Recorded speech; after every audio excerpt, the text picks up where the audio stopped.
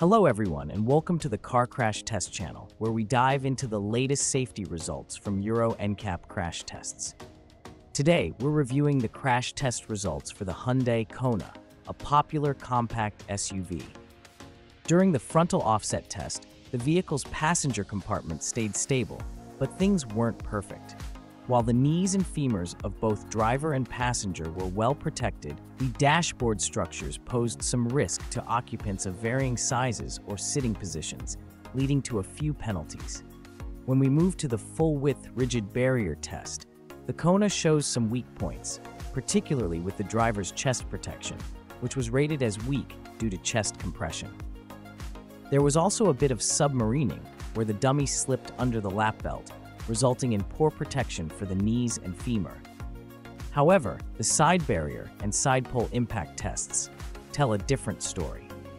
The Kona scored maximum points in these areas, showing excellent protection for all critical body areas. While the control of excursion was marginal, the Kona's countermeasures against occupant-to-occupant injuries worked well in the Euro NCAP tests.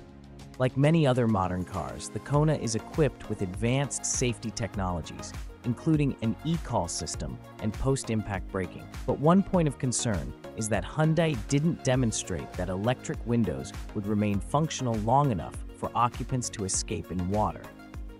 What are your thoughts on the Hyundai Kona's performance? Let us know if there's a specific vehicle you'd like us to cover in future crash test videos. And don't forget to tell us how we can improve these safety reviews. Stay tuned to our channel for more updates on the latest crash tests. And let us know your thoughts on our video in the comments below.